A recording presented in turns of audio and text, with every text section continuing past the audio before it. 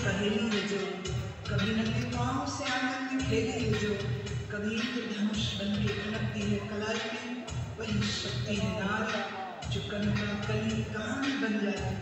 जिसकी एक करवट वक्त को बदल जाती जो प्यार से रुकता दे शामों से ऊँचा जो जिद पे आ जाए तो समय को बदल देती तो वही